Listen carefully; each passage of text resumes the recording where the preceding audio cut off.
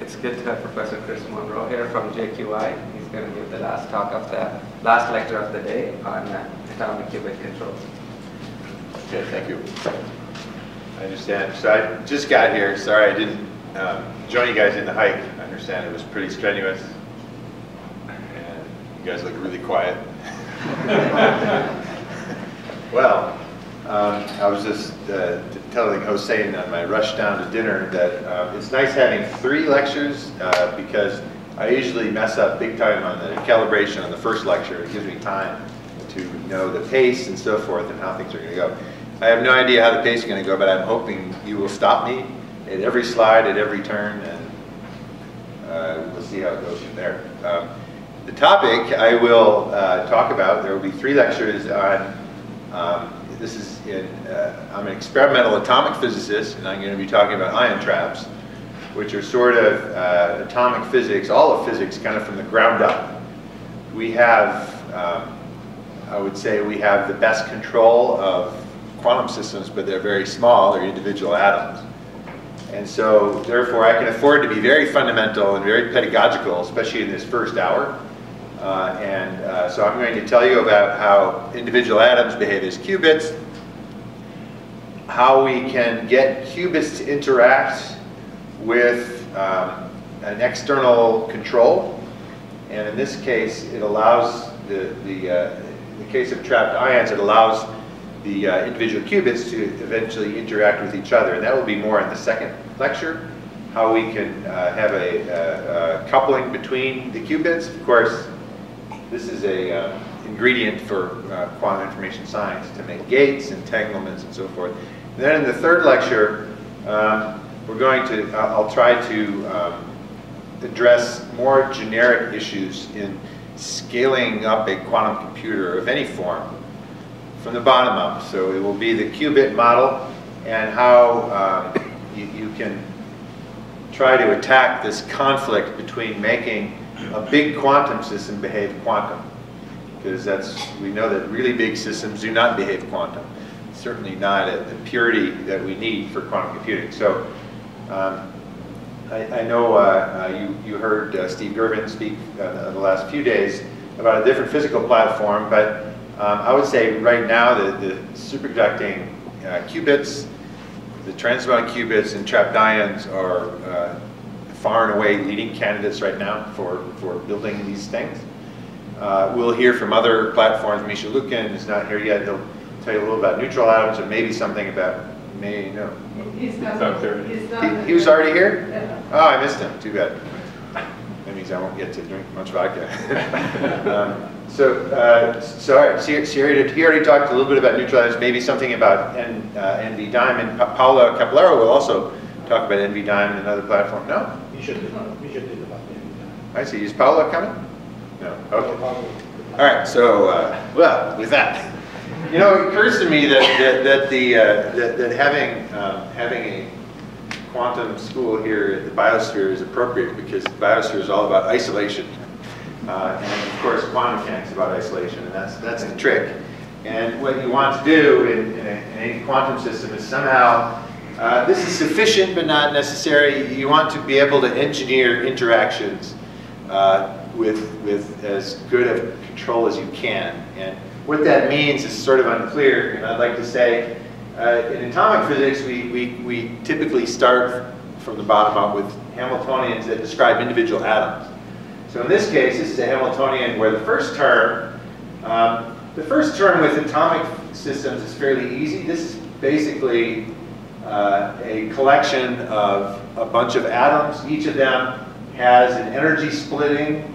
H bar is 1 here, so the energy splitting is omega sub i uh, on that atom. Now, it may be fluctuating in time, and you, you may be, uh, it may be controlled that way, maybe it's not. Um, and this is the Pauli matrix for that atom. So it represents the spin, an effective spin one-half system. This is a two, bunch of two-level atoms. And so this we often get for free in atomic physics. Even better, sometimes we can uh, make this really time independent. They're sort of constants, and they can be pulled out of the sum if, if the system is really uniform.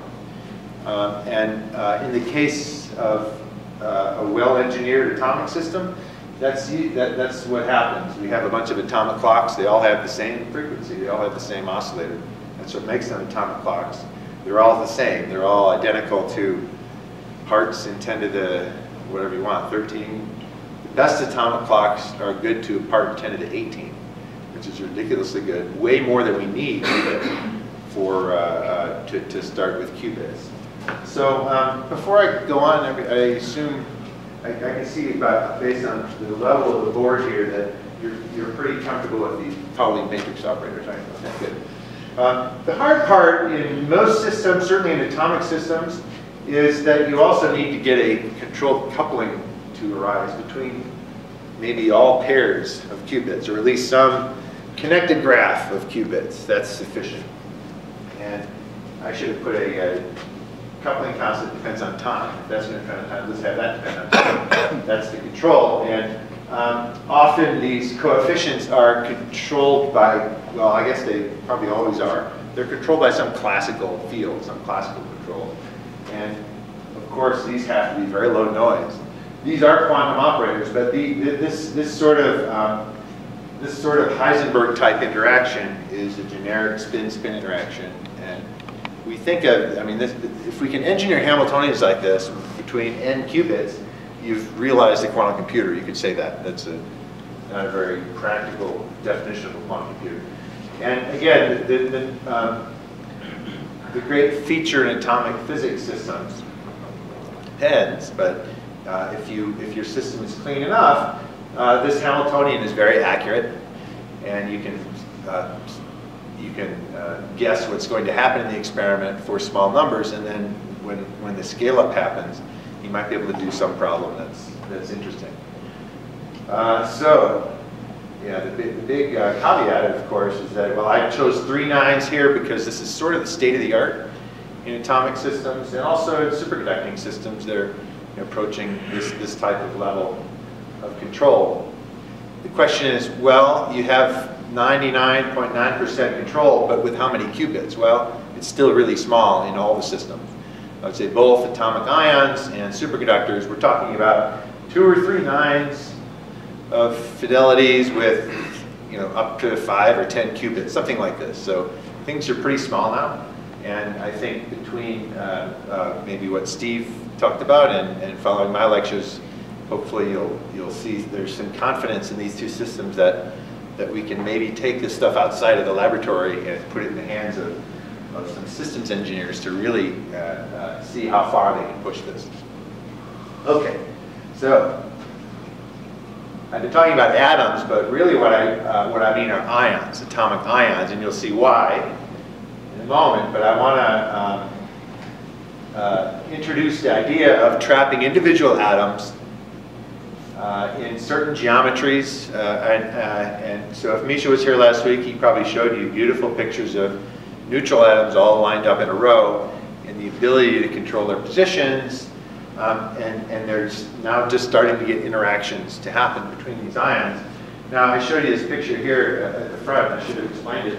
This is um, th this is a string of individual atomic ions that are they're obviously crystallized because they're very cold. Uh, they're very cold because they've been laser cooled for the, with the same reason that you can see the atoms. This laser light is scattering off the atoms, cooling them, and also the fluorescence can be detected. Here's a one inch microscope objective, and meter down here is a camera that allows you to see that.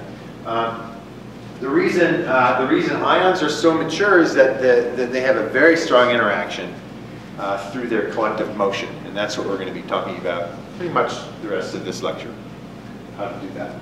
Um, so I guess a few general things about trapped ions. I'm going to start by talking about what, what, what the trap itself is, so I won't comment too much. It's a bunch of electrodes that have the appropriate voltages on them to have these things trapped in free space. Um, you'll notice that um, the scale here, let's see, so uh, they're, they're, they're typically separating these atoms by a few microns, so they're clearly resolvable optically. The wavelengths are usually in the near ultraviolet, so a few micron spacing is easy, not hard to resolve. Um, each atom here is sort of a blob.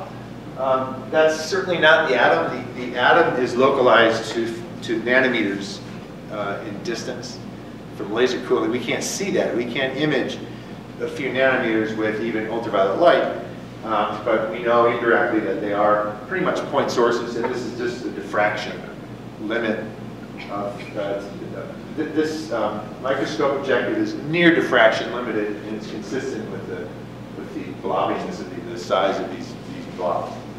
Okay, so um, the crystal, of course, happens because the the atoms are confined externally, and that's balanced with the Coulomb repulsion. You'll notice lots of things. We can spend a lot of time here if you want. Uh, uh, it looks pretty boring. You could say it's the world's simplest solid because it's atomically perfect. Every atom is exactly the same. In fact, these are all the same isotope of ytterbium, 171.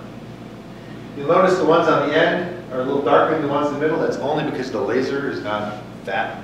The laser has, has wings in this crystal. Um, and also, the, the ions on the end are a little further apart than the ones in the middle. That's not such a big deal. It's, uh, for small numbers, it's just bookkeeping. But we can, we can make them equally spaced if we need to. We typically don't. Um, and uh, the inhomogeneity is, is not hard to understand either because um, the, the external potential here along that one dimension is nearly harmonic. Um, and so that means that the ions in the middle, they feel the harmonic confinement from the potential, but they also feel the confinement from the other ions pushing them in. Whereas the ones on the end have this imbalance and they're, they're, they're, they're a little more free to move. So it, it's actually not an easy, it's, you, you can't calculate in closed form the classical physics of the separation of these atoms or their normal mode frequencies. You have to resort to numerical methods, but it's all classical and this has been done with up to thousands of ions. And my final remark is that if you're wondering why they're in a straight line, that's because the trap was made highly anisotropic. So it's much weaker along this axis, this axis compared to the other two. So the other two dimensions have higher frequencies, they're sort of frozen out, if you will. And um, it's a little subtle that you have to, uh, if, if you want to maintain a linear crystal with larger numbers of ions, you have to be careful because if you keep packing them in, eventually they'll buckle and form a zigzag. Um, or if you want, if you don't want to think about packing more ions, then you can think about squeezing the z-axis here. If you squeeze the z-axis, they'll eventually buckle. They'll buckle more, they'll form a helix, then eventually you'll have a three-dimensional crystal. And for technical reasons I probably won't talk too much about, we'll just hint at it. We really like these linear crystals. Um, uh, it turns out if you're off the axis, there's some problems, and I'll talk about that in a minute. All right, any questions so far? I'm kind of setting things up. We're going to talk for the next 15 minutes about ion traps, and then maybe for the next half hour after that about the qubits and their interaction with light. You're all pretty, so, so actually, let me take a poll here. Are you all graduate students? Postdocs? I'm an undergrad. Undergrad, grads, Undergrad. under, a couple undergrads, mostly grads. Any postdocs? Okay, good. Uh, Postdoc. All right, so um, I know one of you knows a lot about ion traps.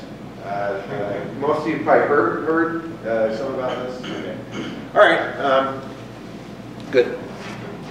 And I think I'll take the lead from knowing what was, that, that Misha and Steve in particular spoke already. Makes my life a little easier. Okay, let's talk about ion traps. How do you trap an ion? This is a question I often ask. Uh, grad students usually know this, but uh, uh, or, or know the problem behind it. But undergrads, if they're interested, I say, "How would you trap a charged particle in free space?" Um, it's not trivial, especially if you've taken E and M, because you can't obviously you can't do this with a static electric field. You cannot have a force field pointing inward in free space. Um, so in Conventional ion traps, there are exceptions, but uh, but 99.9% of ion trappers use one of two tricks. One of them is to actually apply a quadrupole. So um, bear with me here. Uh, I guess we we need to confine it three dimensions, but I'm just going to use two for illustrative purposes here. So we can't do that in two dimensions. Okay, we could do that in three dimensions, but then the problem is the electric field is going to squirt out out of the page and so forth.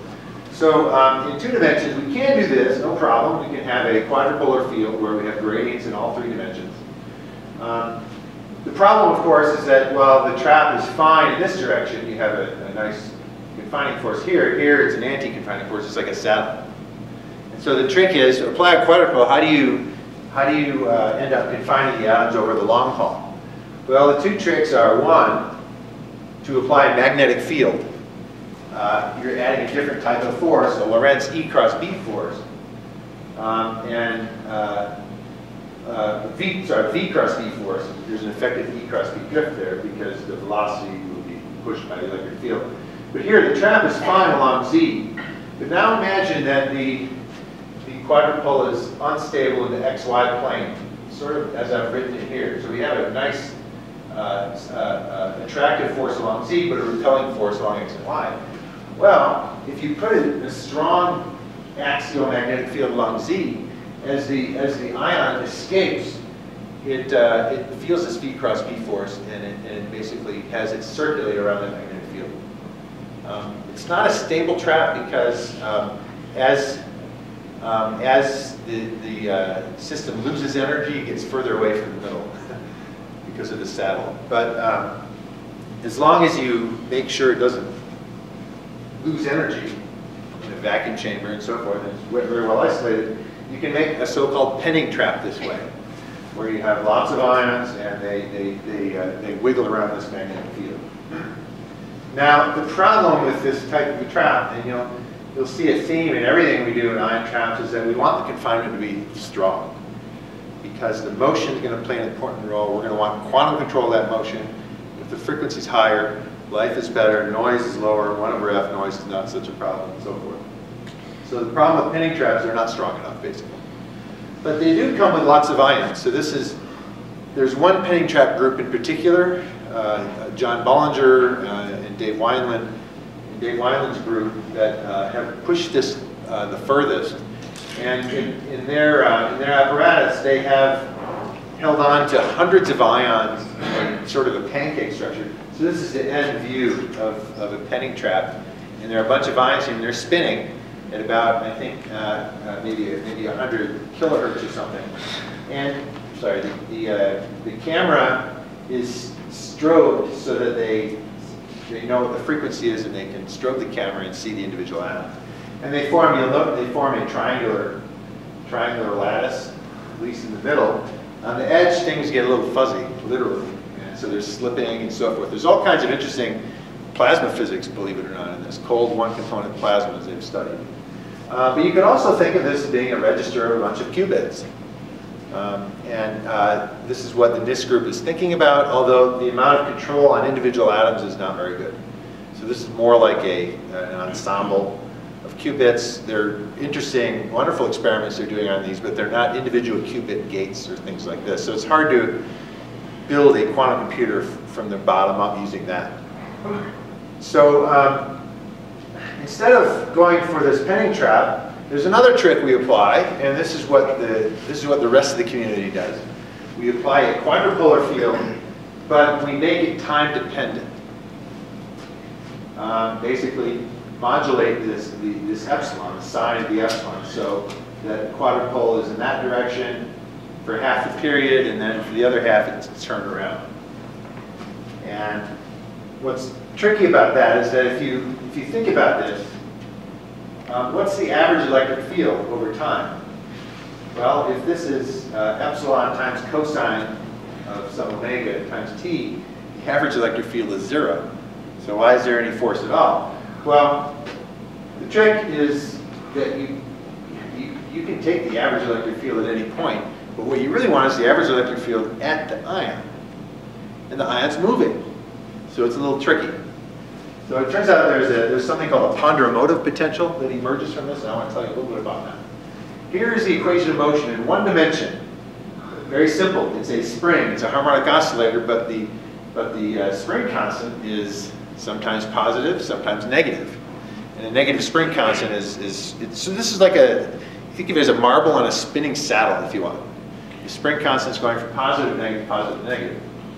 And um, uh, I'll, I'll, I'll, comment on the dimensions and all, and all that stuff a little later. But again, the point is the average force is zero, but because there's dynamics, the way you take the average is a little tricky. And it turns out, well, this, this is a, uh, uh, this equation is called a Mathieu equation, and if you look at, I forget which chapter the Brahms and Stegun, there's a whole chapter on the Mathieu equation. There are, um, there are regimes of this equation that have stable orbits, bounded motion.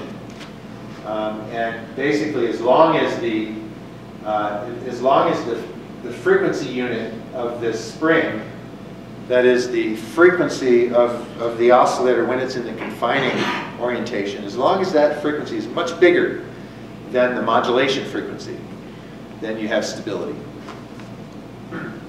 It's not, it's, it's uh, I can show you this on the board, I, I don't think I will.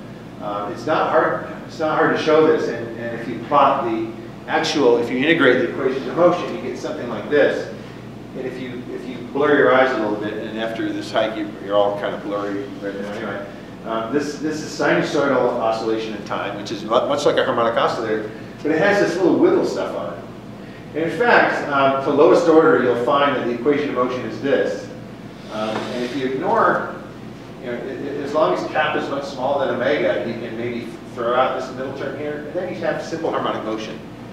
This extra little thing, uh, in, in the lore we call it micromotion, and it's a property that comes with these traps because you're oscillating the, the potential. Okay. And again, um, this can be made very small, and if, if the if your system is designed appropriately, then micromotion actually is not really a problem. It can be very small. And in any case, it's classical classical driven motion. It's coherent in a sense, so it's not something that need that, that, that necessarily will will mess up um, uh, anything you want to do with the motion. This motion, though, the one, this uh, so-called secular motion, sort of the time average long-term motion, this is the motion that we want to quantize. And this is the motion that we're going to use as uh, a way to eventually make gates and couple, couple these ions. Um, I feel like I want to skip the next few. I- I'll put this paper up just because uh, Wolfgang Paul and Hans Dehmelt shared the Nobel Prize in 1989 for their development of this, this technique, which is called, it's called a Paul trap, or a radio frequency RF trap, a Paul trap, named after Wolfgang Paul.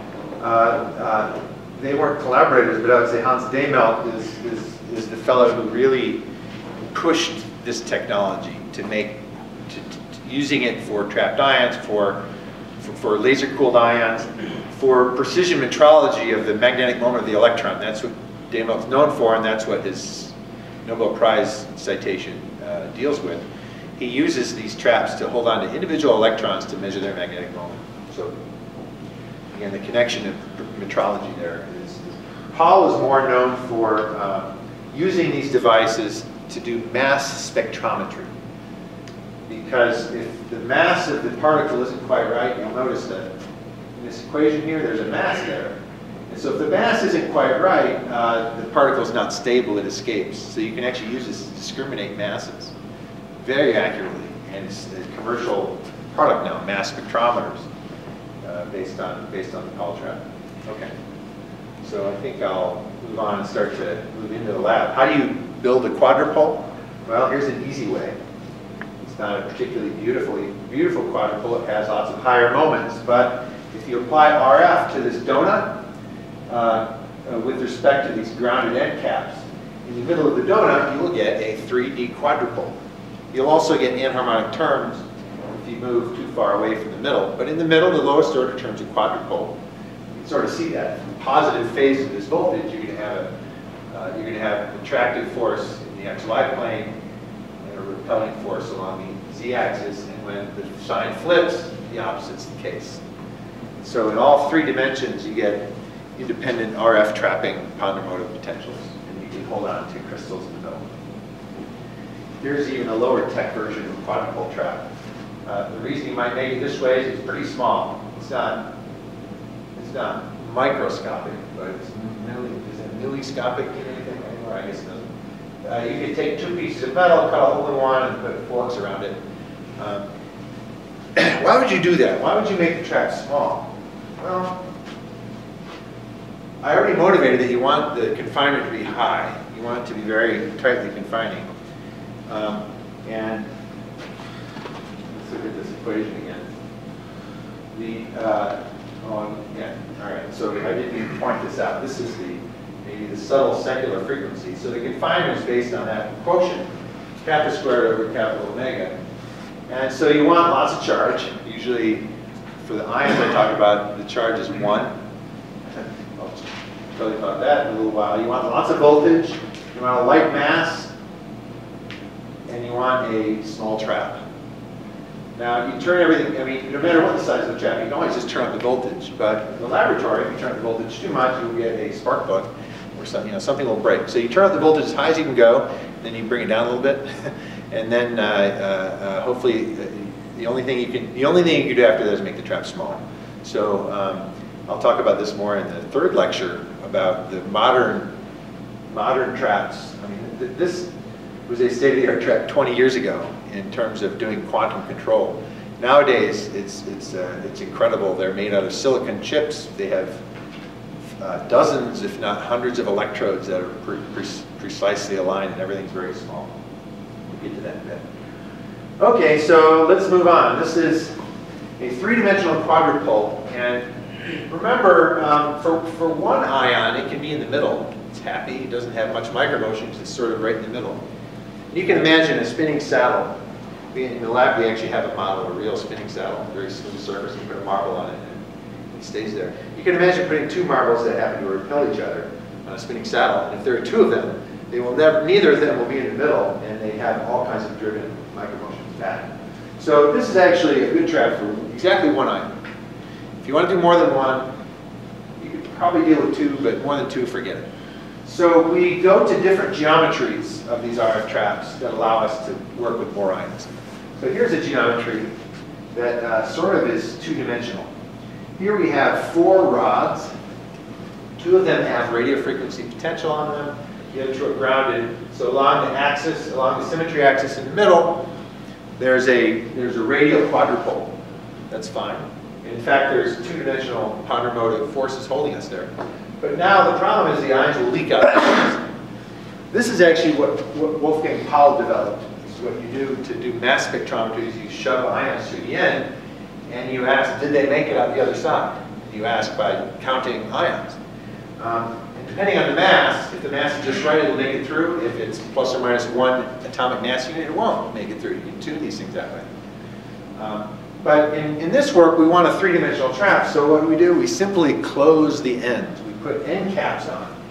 In this case, we, we add, uh, I hope this makes sense, we segment these electrodes into a minimum of three segments, and we put positive voltages on the outer segments, and maybe ground or negative on the middle. And now for positive charges, we'll have a 3D trap right in the middle there.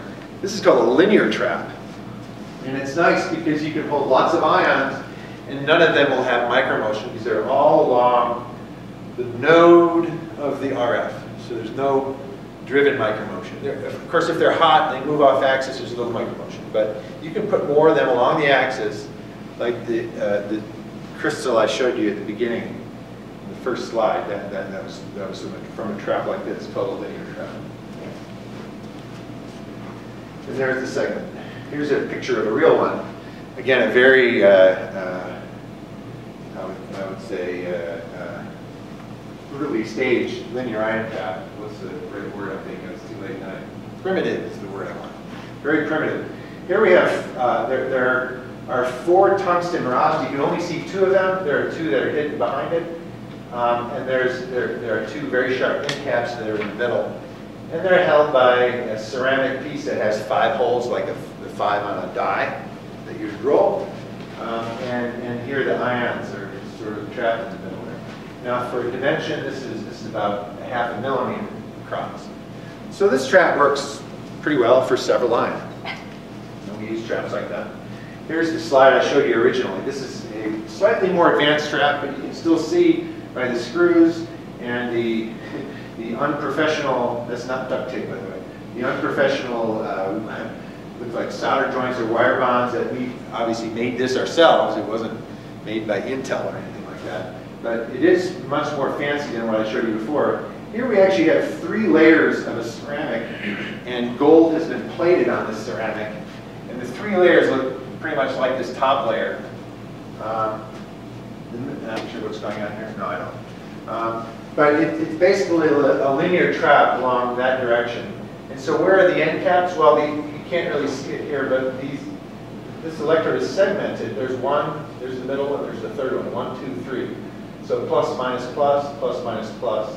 The same with the other layers. And in the middle of this gap here, there's nothing. It's about 200 microns top to bottom. And when we blow up the middle section and we have ions in there, we can see them.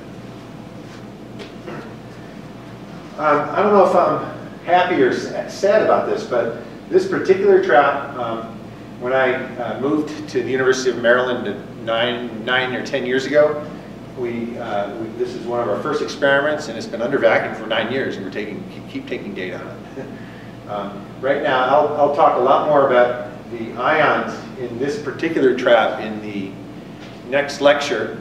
Uh, this, in this trap, we've been doing experiments with up to 30 ions in a, in a, in a linear chain and doing quantum simulations of magnetism. Holds a lot of on. 30 is a lot, actually. Um, as I pointed out, these are all, I, so, so what, why was I kind of happy and sad about that? I mean, it's nice that you can have one experiment work for nine years, but it sort of means that at some point you gotta, you know, you have to bury it and move on.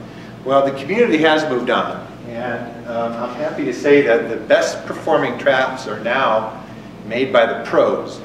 They're made at Sandia National Laboratories out of silicon. It's a very complicated process. It's taken 12 or 13 years to perfect, but they now behave better, finally, than anything we could make in the lab. That wasn't true five, I couldn't say that five years ago.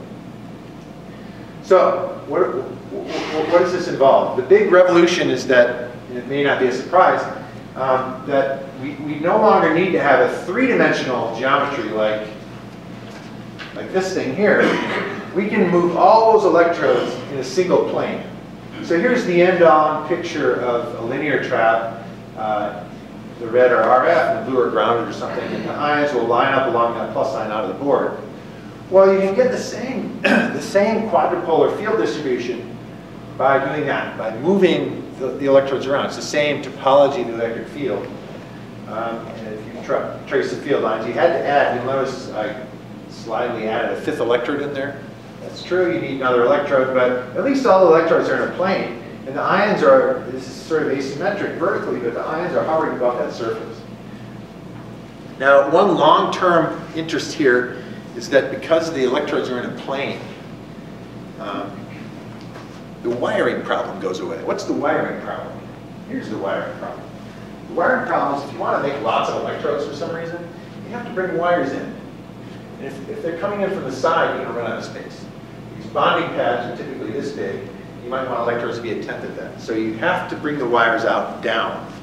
And what this geometry affords us uh, is the ability to make this just a substrate and we can wire them with vias that go through a, a piece of silicon or something. And I don't know much about how this is done, but it's done. It's done very well.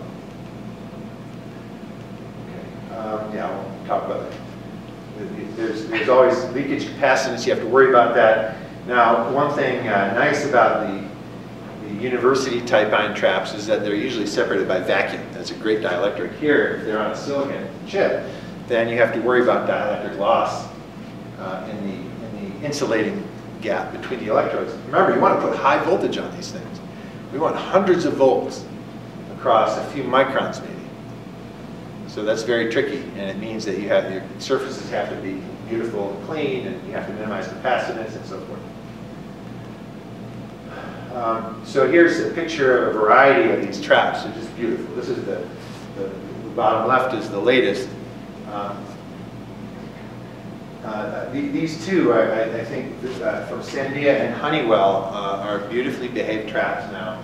And uh, you can't even see the detail here, but there are, there are 48 electrodes here, 24 on that side and 24 on that side, and they're all segmented. And uh, we can put ions that hover above the surface and shuttle them around along that line. This trap is pretty cool. It's gold on quartz. Um, Sorry? A question there. Oh, good, yeah. How big are these? Oh, how big are these? This is about one centimeter, so they're not that, they're not that small.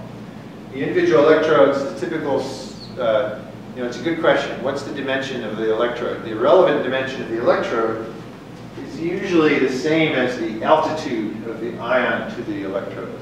This sort of makes sense. If the electrodes are much bigger than that, then they have little influence. If they're smaller than that, then they also have very little influence.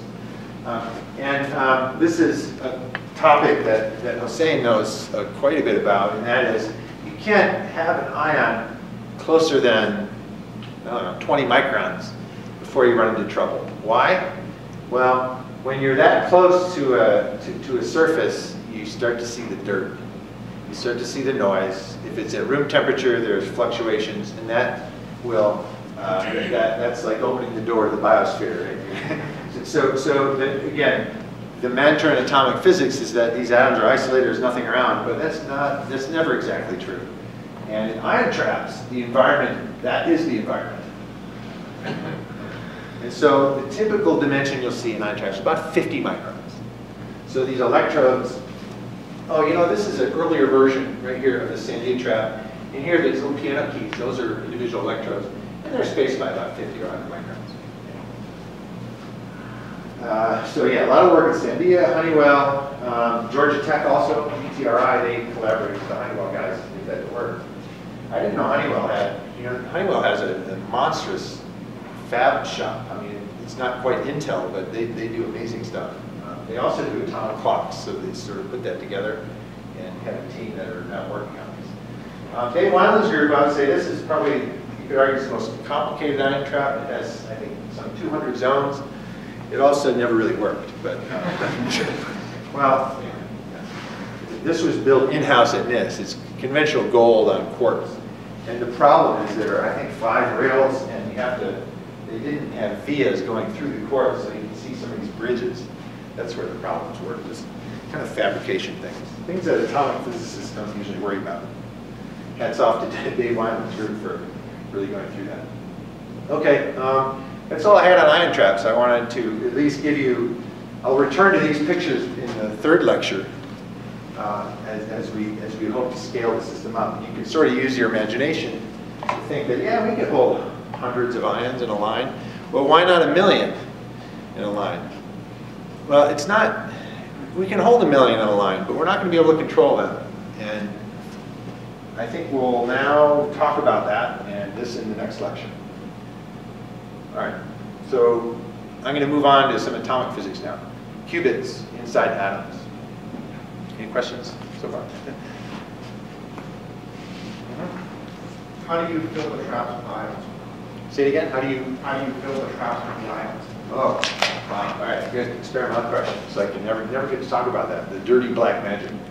Well, in these, in these ion traps, um, maybe I can, I'll go to the most experimental picture, like this one right here. Um, kind of can't see it, but uh, back behind this, this thing, there's, there's a little tube, it's like, it's a hypodermic needle, kind of a thick hypodermic needle, it's hollowed out, and squeeze at one end like a toothpaste tube. And we stuff it full of, stuff it full of ytterbium metal. Uh, which comes in a wire form or a foil, and we heat it.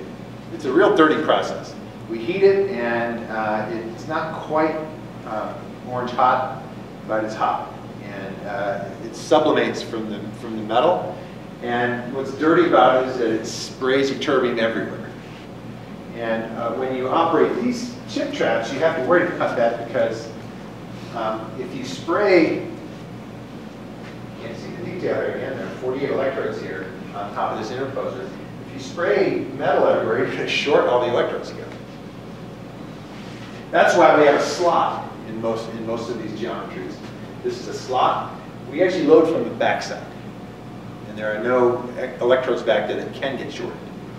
So behind these chips are these so-called ovens, and they spray the, the neutral atom everywhere. We only need dozens or a few hundreds of atoms, and we're spraying 10 to the 15 atoms.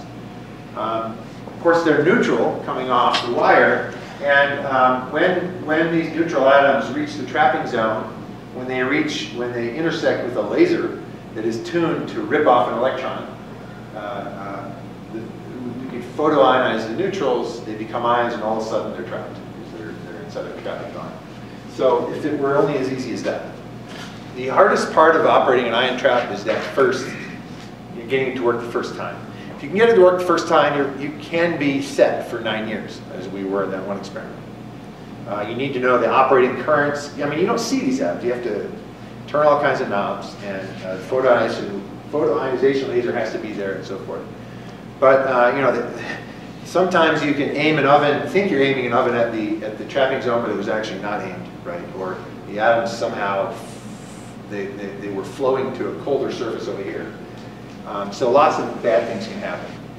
Um, I, we don't worry about that so much that, uh, but it's, it's not really high tech at this point. Now in the long run, I would say if, if you give me a trap like this that actually works, um, and I have uh, a dirty part of the trap, maybe I, keep, I, I continuously load these ions. Um, and here's where we're doing quantum physics. When we lose one or we need them, we can just kind of open the floodgates and let them in one by one. That's in the future.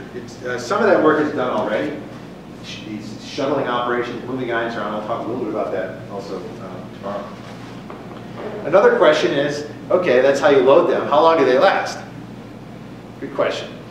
Well, the depth of an ion trap is typically uh, measured in electron volts, several electron volts. So it's much bigger than room temperature.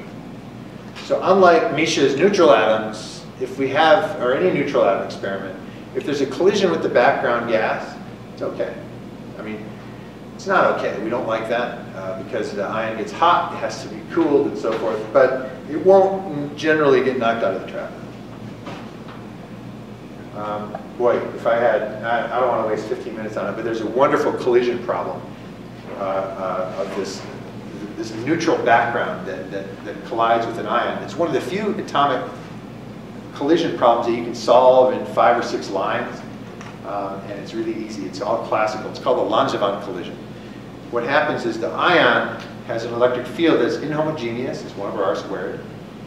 Uh, that electric field polarizes the neutral in the background. The neutral is polarized, and it gets sucked in because its positive charge is further away than the negative charge. And so it feels a 1 over r4 attraction to the, to the, to the center, to the charge. And the 1 over r4 is special. You can calculate a cross-section, and that cross-section goes like 1 over velocity. And therefore the collision rate, sigma v, times the uh, density, is independent of velocity. And so you get this something called a Langevin collision cross-section. It depends on only three things. Charge, the reduced mass of the pair, and the polarizability of the neutral. And in a vacuum chamber, in an atomic physics experiment, the neutral is always hydrogen, H2. If you did your job right, everything else is gone. H2, we know the polarizability is. In fact, the polarizability of H2 is the same as, you know, to an order of magnitude, uh, uh, similar to many of the others. In fact, I'm thinking of Alex Dalgarno. I think he, from first principle, calculated many of these things. There's, I, I have one of his tables in my office, and they're all within an order of magnitude with each other. The, the, the charge is one, one uh, electron charge, and the reduced mass, since hydrogen is so light, the reduced mass is always that of hydrogen. Um, and the polarizability is a number. And so the only other parameter is the pressure. And it turns out that at 10 to the minus 11 torr, if you're okay with those units, that's sort of the typical pressure. At 10 to the minus 11 torr, these collisions happen every half hour. Every ion sees a collision every half hour.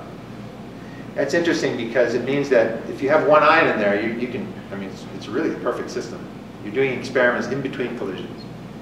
Um, we've had traps with a single ion in there for several months, the same ion. We think it's the same ion. We come, we turn off the laser, go home, come in the next morning, and there's an ion already there. It must have been. I mean, it's hard to believe somebody was loaded, but it happens, you know, 90 straight days. Um, so with one ion, that's that's fine. But when you put lots of ions in there, um, the collisions happen more, and there's more micromotion. It's a nasty classical mess of a problem. And the typical lifetime for 30 ions might be 10 minutes. Okay, so I kind of got into, into some details there, but were, those are important. Those are practical things. All right, let's talk about qubits. This is maybe the easy part because uh, qubits uh, in atomic physics are typically just two levels. They, they are two-level systems, and we only use two levels uh, for the qubits because they're sufficient. Now, if you want to do laser cooling on these ions or any atom, uh, you need a cycling transition. You need, uh, you need a very simple electronic structure like hydrogen or rubidium if, you're, uh, if you want to do, use neutral atoms. For ions, of course, we're removing one electron, so we look to the second column, the alkaline earth atoms. And so these are very popular atomic ions that have a cycling transition. Single electron, S to P usually, S to P, and it comes right back down. Uh, these transition, uh, the, the, the 2B ions uh, are also, if you look closely, you'll see that they are they have two outer s electrons, ionize one, and and you have a hydrogenic system. Ytterbium also, and nobelium. Yeah, it'd be nice if we could get nobelium. Um, so 6s2. Um, okay, so this is what nine elements, and I would say, yeah, pretty much all the ion groups use one of these, one of these guys. There are two flavors of qubits that we typically use. Um, and so here's our first energy level diagram of an atom. You've seen it before. The ground state for a single electronic system, single electronic atom, the ground state is an S. Um, and uh, in, in, this type of a qubit, the excited state, the other state of the qubit, is uh, an optical excitation. Usually, um, usually, a, well, it has to be a metastable state because it needs to be long-lived. Um, it's typically a D state. That's the uh, that, that's usually the, the, the, metastable state of relevance. And again, it's stable because it's metastable, I should say, because uh, this can only decay via uh, electric quadrupole radiation, and the rate's pretty slow. The lifetime of the D state in ions can be, you know, from a tenth of a second to a few seconds. So this is a perfectly fine qubit. And uh, for these ions here, uh, these ions have low-lying D states. Some ions, the D state is actually above the P, and then you can't do it because the D can decay to P quickly. um, the other popular type of qubit is a so-called hyperfine qubit. Now, the hyperfine qubit requires nuclear spin because this, this S state is a single electron. Sure, it has spin, um, but, well, you could store it in that electron spin, but it's very low frequency and it's the Zeeman shift is sensitive. Uh, you, you, the Zeeman splitting is first order sensitive to the magnetic field, so it's, it's kind of a noisy qubit. The nice thing about hyperfine qubits, and this is these are states with different uh, relative electron and nuclear spin, is you can get sort of uh, uh, states that are insensitive to magnetic field fluctuations. I'm sure Steve talked a little bit about how you can bias uh, a transmon qubit and sort of get the same thing and suppress sensitivity to charge noise. Here we would suppress sensitivity to magnetic field noise. In fact, uh, the, the, second, the, the standard for the second standard of time is based on two hyperfine levels in cesium that enjoy that insensitivity to magnetic field. That's why they're good atomic clocks. You don't need to worry about the magnetic field so much. Um, the, they're typically separated at, uh, by microwave frequencies times the energy that times h. Um, and these, all nine ions have isotopes with nuclear spin that you can use uh, hyperfine qubits for. Okay. So that's kind of simple actually. Uh, the, the, fundamental ingredients, just isolate two levels and go, you know, see what you can do with it. Um, I would say that the, the, the highest level work so far has been done with calcium optical qubits and this is the group of Rainer Blatt at Innsbruck.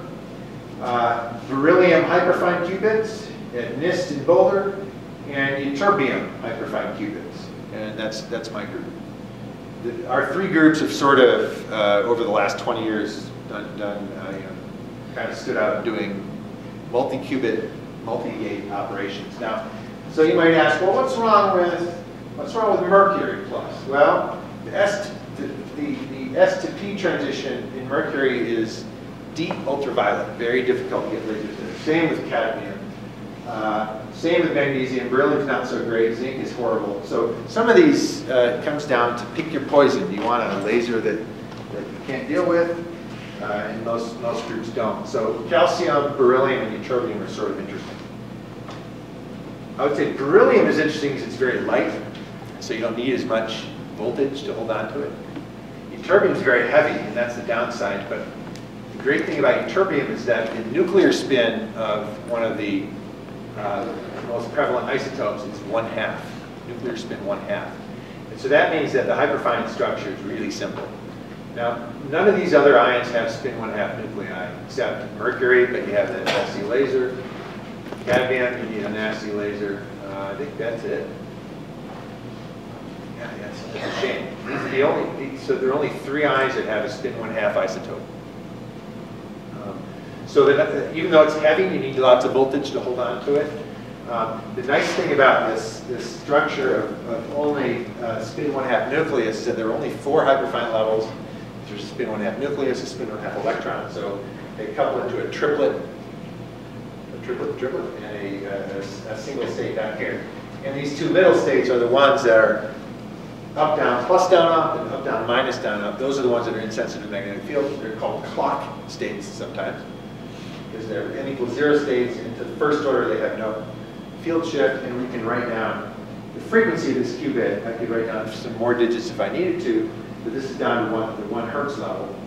And uh, without any magnetic shielding, you can typically get one second coherence times easy, limited by 60 hertz magnetic fields, and so forth. So the nice thing about ytterbium, I guess, one of them is that it has a spin one half nucleus.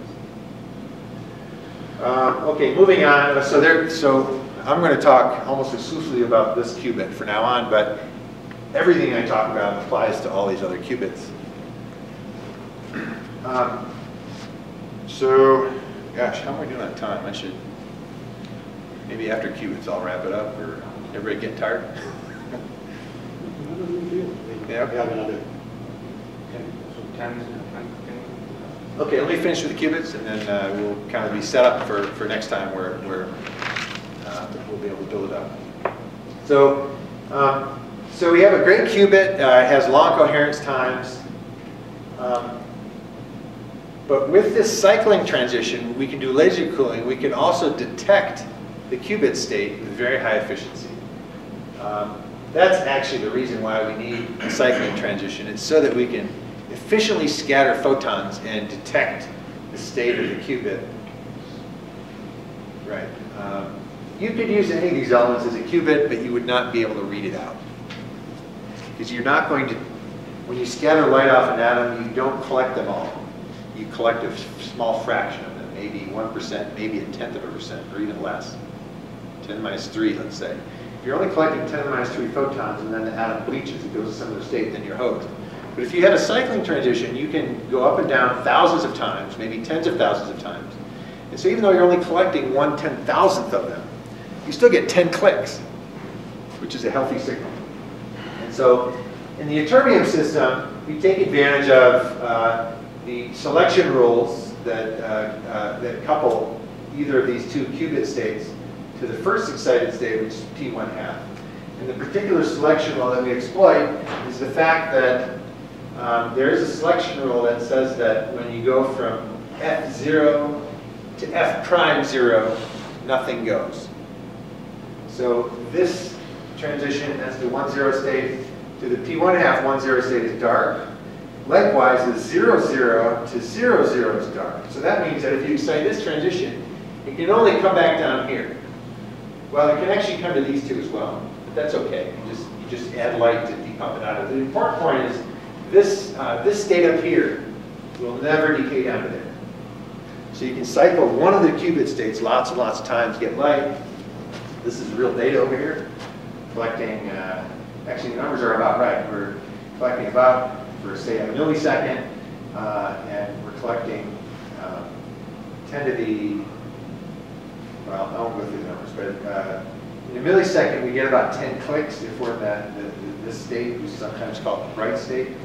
And the point here is that if we're in the other state, under the same laser, under the, under the influence of the same laser, we're now detuned by 12 gigahertz from, from a 20 megahertz wide line, so the atom is transparent, it's dark. And there's the data, same experiment, the only difference is that the atom is prepared in the other state. And here we have a very good detector, you can plainly see that.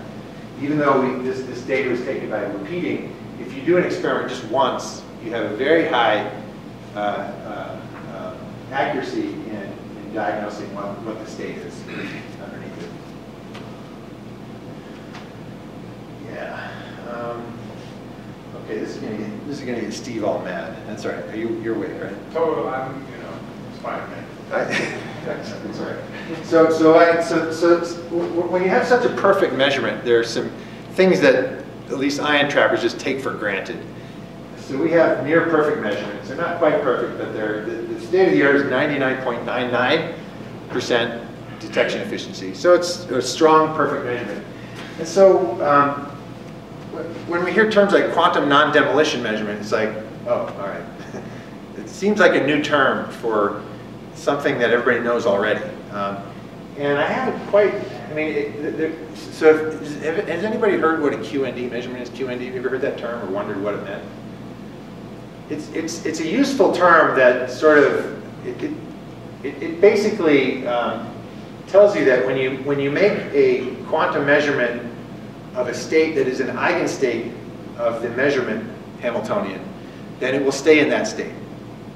We sort of know that. We're already in, a, in a- in an eigenstate, and when we measure it, it should stay in that state. And what we learn in the, in, in what we learn in quantum physics 101 is that the quantum measurement problem, here it is. There's, there's that first measurement, it collapses the wave function, but once the wave function is collapsed, we should be able, we should be seeing the same state over and over again. And in that situation, you're not disturbing the quantum state because it's already in the state you already know about, you already measured it. So in a sense, you're not, you're not demolishing the quantum state by measuring. But if you're in a superposition of those states, the first instance does demolish the quantum state.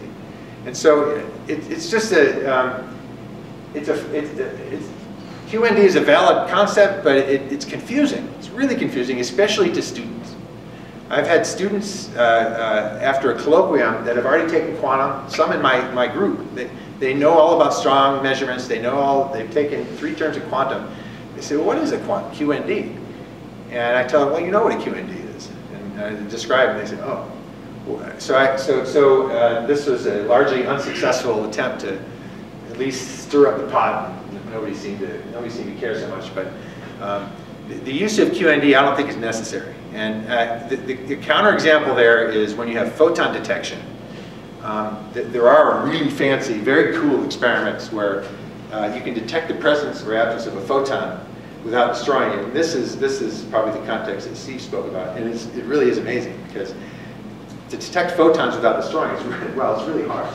But I, I guess I would argue fundamentally, I'm not a theorist, but if I you know, really had to be confined to an office, um, the, the question is if, if, uh, if, if you have a photon um, and, you, and you detect it in the normal way, the destructive way, where you slam it into a semiconductor and it's gone, it creates an exciton, it creates a current, there's all kinds of dissipation, and you see a pulse. That photon's gone, right? But if you detect that click, you knew you had a photon, you can just make another one of the same bandwidth, the, the same color, the same everything. And you cannot tell whether, I mean, you didn't disturb it in a sense. Now, of course, you have to have that amazing uh, uh, apparatus to do this. So, uh, so actually doing a QND measurement of a photon is interesting technologically, but theoretically, it's not maybe so interesting. And yes, there's a question. Yeah, I just, uh, about your point about the QND, it seems like, to me, the, the way I understand QND at least is in terms of like the positive operator value measurements, is that, that you just, um, you entangle it with an ancilla, and so you're able to keep a superposition state. You don't necessarily, so your point is, if you don't have a superposition state, you can keep it, but you're just doing a measurement, but it seems like the power of QND is the ability to keep something in a superposition state. To keep in the superposition state. Even after you're doing a measurement. I think, well, maybe what you're getting at is, is sort of a corollary of this, and that is, if you had an imperfect, a weak measurement, um, I think they're related, similar, I you know, or POVM is, is more a generalization, kind of a weak measurement. And if you had a weak measurement, you can always model that with a perfect measurement and ignorance, or, you know, tracing over something. This is maybe the, the, the von Neumann approach or something, where you trace over a part of the system. And you can effectively generate a weak measurement or a POVM measurement that way.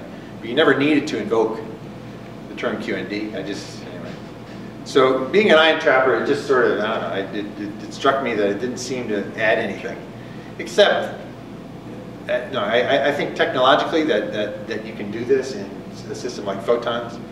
Um, it's, it, uh, you know, it's pretty amazing work, and it, it is looking to be necessary to build quantum computers that if you're going to use photons as a bus, you're going to need to be able to preserve those photons and maybe even measure them while preserving them. For, I don't usually talk about this, but I figure for a school, uh, I just wanted to put a cheap plug for that. Um, so uh, I think, you know, I'm going to stop there. It's late and everybody's tired.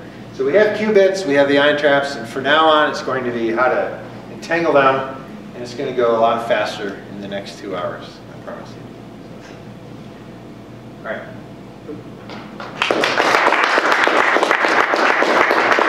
All right, any questions for Chris? Yes? So you fill these traps with ytterbium, and you're filling them with identical ytterbium atoms. Yeah. Um, If for whatever reason you wanted to fill the trap with atoms which were not identical, you have any ability to order them in a, some sort of desired organization?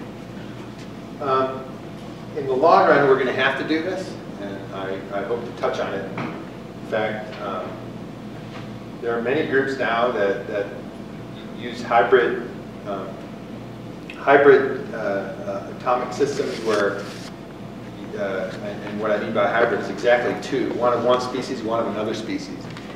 And what this allows you to do, I would say, probably the best example of this is Dave Wineland's group in Boulder.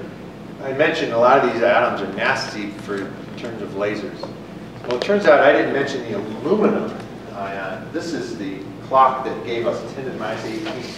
I didn't highlight it. Aluminum, it's a uh, 3s squared 3p. So when you ionize aluminum, it's a two electron system. It has a singlet ground state, and there's a triplet excited state that is it's metastable. It's a triplet singlet. It's forbidden. Uh, it's forbidden. It, it's, it's in fact it doesn't feel a shift of electric magnetic fields to all orders. So it's a beautiful clock. Um, and uh, in the aluminum ion, that clock is the 10 to the minus 18 clock I said. But to measure that qubit, you need a laser that's almost an X-ray. It's bad. It's, it's like 150 nanometers, so you can't measure it. So Wineland's group said, well, you know, we're going to make this clock anyway. How did they measure it? Well, they put a beryllium ion next to it. And they, uh, they, they made the clock. It was beautiful and narrow. And then they mapped the clock state onto a crappy clock, but good measurement. And so they were able to realize, and that's just the best of both worlds, a great clock, poor measurement device, a poor clock, and a great measurement device. And that's how, that, that was the magic behind the 10 RS 18 clock. So that, that was a long time ago, and now groups are, they're putting molecular ions next to an atomic ion that they can read out to do spectroscopy on a molecule. On some experiments in my lab, in fact, Ksenia's experiment, we have, uh, we have ytterbium and barium ions. Ytterbium is the quantum memory, and barium spits out photons to, to, to connect to other ions maybe far away. Um, you might want different ions so that, so that you can do something called sympathetic cooling. So you want to do quantum operations in the dark without destroying the memory, but you want the motion to be cold. So you have a different species ion, different color, so you can do laser cooling. And in sympathy, the Coulomb interaction cools the whole chain.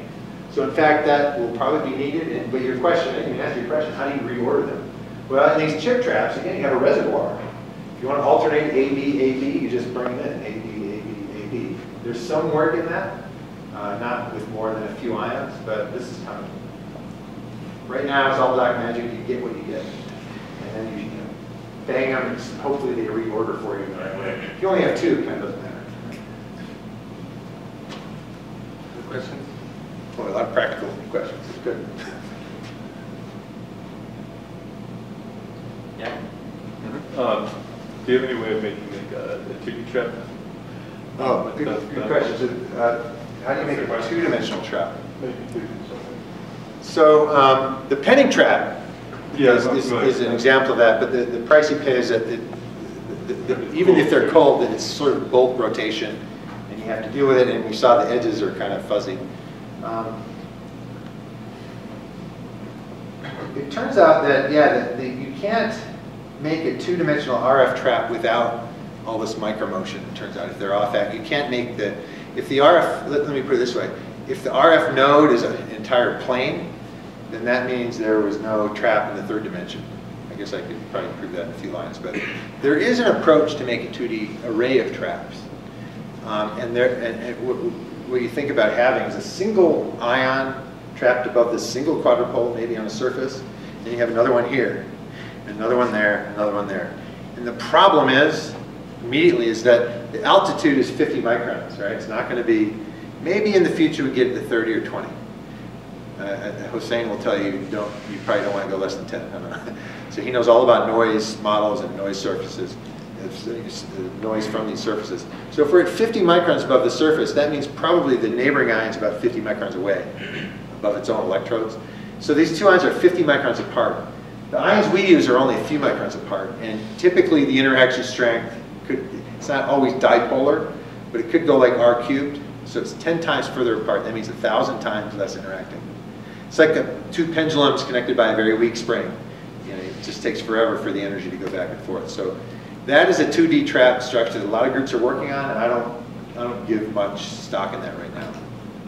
So yeah, unfortunately, we're stuck to 1D chains, but you can think about sort of having long, ch- they're, they're locally 1D, but you could curve them around. You could make a ring, for instance. Yeah. It's locally 1D. So there are some geometries you can think of. Uh, Before we close, I want to uh, remind you guys that Professor Yelin's lecture is moved up to 9 a.m. tomorrow. And today's talk, um, there's no talk today, but tomorrow there's going to be after dinner talk by Pierre Meystre, um, editor-in-chief of PRL. So we'll start at 9 tomorrow, and let's thank Professor Monroe again.